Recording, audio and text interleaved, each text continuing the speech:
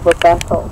And Pastor Tom said this morning he could just imagine Joshua sitting up there in the mountains and looking around him and seeing all these sights of uh, biblical stories as he look around.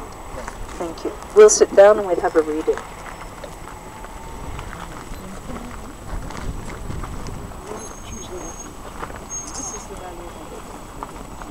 The Vale of Megiddo is, is real Valley. So, Which city is that